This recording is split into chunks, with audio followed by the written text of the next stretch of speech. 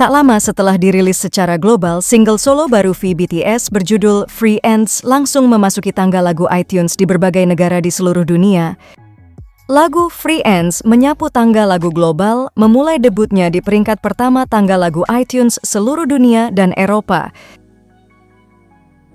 Selain itu, lagu ini mencapai peringkat pertama di tangga lagu teratas iTunes di lebih dari 90 negara termasuk Argentina, Australia, Kamboja, Kanada, Kolombia, Denmark, Finlandia, Prancis, Jerman, Hong Kong, India, Jepang, Singapura, Taiwan, Thailand, Amerika Serikat, dan banyak lagi. Dengan pencapaian itu, single solo terbaru V BTS itu menjadi lagu yang dirilis pada 2024 dengan peringkat pertama terbanyak di iTunes.